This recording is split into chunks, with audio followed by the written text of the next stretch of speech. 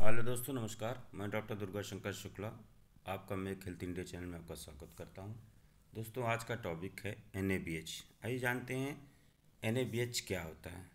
आज से हमारा NABH पे ही सीरीज़ चलेगी। अब वीडियो बनेंगे। आप उसको देखिएगा और एन के बारे में जानिए क्या है। एन का फुल फॉर्म क्या है? National accreditation board for hospitals and health care providers it is set up to establish and operate accreditation program for healthcare organization. ये क्वालिटी काउंसिल ऑफ़ इंडिया जो उन्नीस सौ सत्तानबे में इस्टेब्लिश किया गया था, उसी का बनाया गया एक बोर्ड है, जो हेल्थ केयर प्रोवाइडर्स जितने भी हैं, चाहे हॉस्पिटल हो क्लिनिक हो, सबके लिए एक स्टैंडर्ड सेट करता है उसी के स्टैंडर्ड के अंतर्गत उसके ऑपरेशनल प्लान होते हैं, जिससे पेशेंट को अच्छी से अच्छी क्वालिटी ऑफ़ हेल्थ केयर दिया जा सके और उनकी क्वालिटी को डे बाई डे इम्प्रूव किया जाएगा। क्या कैसे इम्प्रूव किया जाएगा? Step wise progression towards towards the mature quality system मतलब धीरे धीरे धीरे धीरे कंटिन्यूस इम्प्रूवमेंट करना रहता है। मतलब अब डे बाई डे गलतियाँ सबसे होती हैं, लेकिन उन गलतियों को सुधार करके पेशेंट केयर एंड क्वालिटी को अच्छी से अच्छी प्रोवाइड करना। आज देखिए एन में क्या क्या हम देखेंगे? एनएबीएच होता क्या है? बेनिफिट्स क्या हैं? चैप्टर क्या है? ट्रेनिंग क्या? हॉस्पिटल डिजास्टर कोर्स क्या होते हैं? आज देखते हैं एन क्या क्या होते हैं। एनएबीएच का full form N N accreditation board for hospitals and health care providers कहते हैं। It is a constitute board for quality council of India established to establish and conduct accreditation program for healthcare organization. NABH is the highest benchmark for hospital quality in India. It is actually developed by the Quality Council of India which is based on line of international accreditation standard like JCI and ACS. इसके patient को benefits क्या होते हैं? अगर कोई भी hospital N होता है, उसको पेशेंट को क्या बेनिफिट्स होता है? Patient are the highest beneficiary होता है। Patient receives high quality of service and safety patients rights are respected and protected patient satisfaction is regularly monitored patient get services by credential house staffs employ के लिए क्या होता है? Employ in an accredited hospital is provided with the continuous learning employ safety होती है good working environment होता है leadership ownership in clinical process होती है। फॉर हॉस्पिटल्स क्या होता है?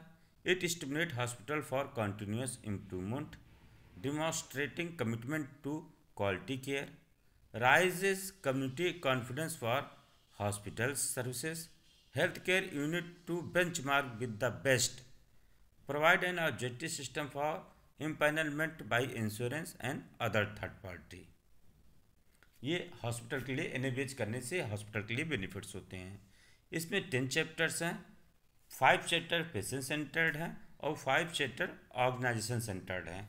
आइए देखते हैं पेशेंट सेंटर्ड कौन कौन चैप्टर हैं। एक्सेस फ़र्स्ट है access assessment continuity of care दूसरा क्या है? केयर ऑफ़ पेशेंट तीसरा मैनेजमेंट ऑफ़ मेडिकेशन चौथा पेशेंट राइट्स एंड एजुकेशन है हॉस्पिटल इन्फेक्शन कंट्रोल ये पांचवा चैप्टर है। अब ऑर्गेनाइजेशन सेंटर पाँच चैप्टर कौन कौन से हैं? सिक्स है continuous quality improvement responsibility of management facility management and safety human resource management information management system ये टोटल टेन चैप्टर हैं। और ट्रेनिंग कौन कौन सी होती है? हैंड हाइजीन की होती है फायर सेफ्टी की होती है बायो मेडिकल बेस्ड मैनेजमेंट की होती है और बेसिक लाइफ सपोर्ट की। ये ज़रूर ट्रेनिंग होती है, इससे हमें डे बाई डे क्वालिटी को इम्प्रूव कर सकें और पेशेंट को, कंज्यूमर को अच्छी से अच्छी क्वालिटी दे सकें। आइए देखते हैं वाई एन एन क्यों हो करना चाहिए? क्यों होना चाहिए? पेशेंट बेनिफिट्स के लिए होना चाहिए। पेशेंट आर बिगेस्ट बेनिफिशरी होता है। High quality of care and patient safety के लिए होना चाहिए। Service by credential medical staff के द्वारा होता है, क्योंकि rights of patient are respected and protected होना चाहिए। पेशेंट सेटिस्फेक्शन रेगुलरली एवेल्यूटेड होना चाहिए। आज देखते अदर्स मैंडेट्स क्या होता है? आई के लिए एनएबीएच होना बहुत ज़रूरी होता है। Empanelment C G S E C H S के लिए ज़रूरी है। State government mandate for government heal health scheme and EG MP Tamil Nadu ये सब गवर्नमेंट से इम्पैनलमेंट के लिए भी मतलब आपका हॉस्पिटल एन होना चाहिए। बहुत सारे सर्टिफिकेट कोर्स एन ए चलाते हैं, जैसे नर्सिंग एक्सीलेंस का होता है medical laboratory care certificate program होते हैं standard for emergency department of hospital भी होते हैं एन ए में। एन ए बी एच किस, किन किन किन चीज़ों का एन ए बी एच होना ज़रूरी है? हॉस्पिटल्स का एस एस सी ओ का ब्लड बैंक का ब्लड स्टोरेज सेंटर का, मेडिकल इमेजिंग सर्विसेज़ का, dental facility and dental clinic का, ओरल सब्सटीट्यूशन थेरेपी सेंटर का, एलोपैथिक क्लिनिक का, आयुष हॉस्पिटल का, सीएससी का, पीएससी का, वेलनेस सेंटर का, क्लिनिकल ट्रायल्स का, जहाँ होते हैं वहाँ पे पंचकर्मा क्लिनिक का, आई केयर ऑर्गेनाइजेशन का। ये सब स्टैंडर्ड होने चाहिए। मतलब इन सब चीज़ों का एन एक्रेडिशन करता है, अगर वो आते हैं तब। आइए जानते हैं कि फोर्थ एडिशन और एन के फिफ्थ एडिशन में सिमिलरिटी और और डिफरेंसेस क्या क्या हैं। एन फोर्थ एडिशन और फिफ्थ एडिशन में दोनों में चैप्टर टेन है।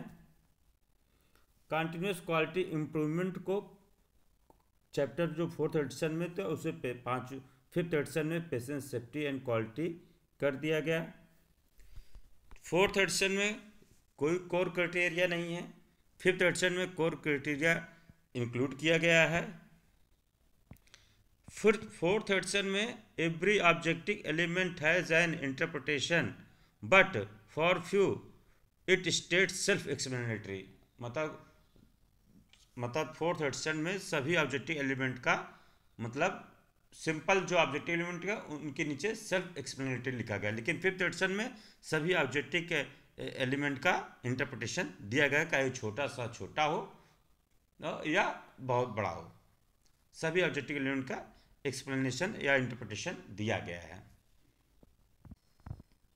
फोर्थ एडिशन में सभी ऑब्जेक्टिव लेवल का एलिमेंट का सेम लेवल है। लेकिन फिफ्थ एडिशन में जो ऑब्जेक्टिव एलिमेंट्स उनमें चार कैटेगरी में डिवाइड उनमें कैटेगराइज किया गया है। चार कैटेगरीज हैं, जिसमें कोर कैटेगरी है कमिटमेंट कैटेगरी है अचीवमेंट कैटेगरी है और एक्सीलेंस कैटेगरी है। फोर्थ एडिशन में बिब्लियोग्राफी नहीं दी गई है फिफ्थ एडिशन बिब्लियोग्राफी दी गई है। बिब्लियोग्राफी क्या होती है? रेफरेंसेस होते हैं, सभी के वो हैं। फोर्थ एडिशन में डायमेंशन नहीं दी गई है, लेकिन फिफ्थ एडिशन में डायमेंशन दी गई है। डायमेंशन में क्या क्या? पेशेंट सेंटर्स है रेलिबिलिटी है टाइमली है सेफली है इंफॉर्मेशन है और इफेक्टिवनेस है। ये फिफ्थ एडिशन में डायमेंशन दी गई हैं। फोर्थ एडिशन में एनेक्जर थे फिफ्थ एडिशन में एनेक्जर नहीं दिए गए हैं। एनेक्जर क्या होते हैं? डिटेल चैप्टर का डिटेल डिस्क्रिप्शन होता है, उसे एनेक्जर कहते हैं। ये फोर्थ एडिशन में similarity fourth and fifth edition N के जो बुक है, उसके में क्या सिमिलरिटी थी, क्या डिसमिलरिटी ये आपको बताया गया है। आइए फिफ्थ एडिशन में six fifty one objective elements हैं, जिसमें कोर कैटेगरी के अंतर्गत 102 ऑब्जेक्टिव एलिमेंट्स आते हैं, और कमिटमेंट कैटेगरी के अंदर 459 ऑब्जेक्टिव एलिमेंट आते हैं, और 60 ऑब्जेक्टिव एलिमेंट अचीवमेंट कैटेगरी के अंतर्गत आते हैं, और एक्सीलेंस कैटेगरी के अंदर 30 ऑब्जेक्टिव एलिमेंट आते हैं। जो कोर कैटेगरी के अंदर 102 ऑब्जेक्टिव एलिमेंट हैं, ये जितनी बार एन का असेसमेंट मतलब असेसमेंट होगा, उस सभी में ये एसेस किए जाएँगे। और जो कमिटमेंट कैटेगरी के अंदर one four fifty nine objective element है, ये फाइनल असेसमेंट जो फाइनल असेसमेंट होता है एज का, उसमें एसेस किए जाते हैं। और अचीवमेंट कैटेगरी के जो सिक्सटी ऑब्जेक्टिव एलिमेंट है, ये ड्यूरिंग एनएबीएच के सर्विलांस असेसमेंट में किए जाते हैं। और और एक्सीलेंस के जो थर्टी ऑब्जेक्टिव एलिमेंट्स हैं, ये उस एनएबीएच के री एक्रेडिटेशन में एसेस किए जाते हैं। ये एनी के फिफ्थ एडिशन का चैप्टर का लेबल है। इसमें जो कंटेंट दिए गए हैं टेबल ऑफ़ कंटेंट है इंट्रोडक्शन है एक्नॉलेजमेंट है अबाउट एनएबीएच है, ये लेबल है चैप्टर का मतलब कैसे overall structure of N B H of fifth edition book का कैसे है। आई द ओवरऑल चेंजेस क्या क्या दिए गए हैं। फोर्थ एडिशन में टेन चैप्टर हैं 105 स्टैंडर्ड्स हैं 683 ऑब्जेक्टिव एलिमेंट्स हैं। N A B H fifth edition में टेन चैप्टर हैं 100 स्टैंडर्ड्स हैं 651 ऑब्जेक्टिव एलिमेंट्स हैं। आई द चेंजेस क्या हुए थे? जो पेशेंट सेंटर कितने ऑब्जेक्टिव बता दिया कितने चैप्टर हैं और मैनेजमेंट सेंटर कितने चैप्टर हैं। सिक्स चैप्टर जो होता, वो चेंज हुआ था patient safety and quality improvement उसको कर दिया गया था। जो कॉन्टिन्यूस क्वालिटी इंप्रूवमेंट था, उसको patient safety and quality improvement कर दिया गया था।